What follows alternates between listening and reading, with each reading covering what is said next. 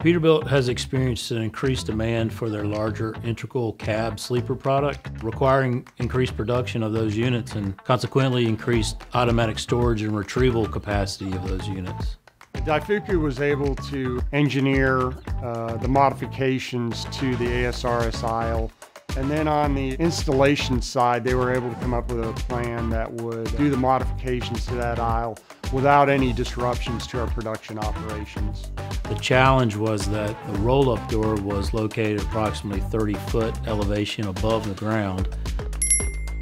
We used a large construction crane to place a smaller construction crane inside the building in aisle 4. By retrofitting aisle 4, we were able to increase the storage capacity for the large integral product uh, without having to expand the overall footprint of the ASRS. One of Peterbilt's main requests was for project management to investigate and pursue any avenues that could shorten the project timeline. As with all projects, there are always challenges. However, the project team was able to overcome various challenges and complete the project, including software commissioning six weeks early with no interruptions to production. The dive Daifuku team was great to work with. We've had very little uh, downtime incidents uh, with the original system that was installed in 2016, and we look forward to continuing to use their equipment.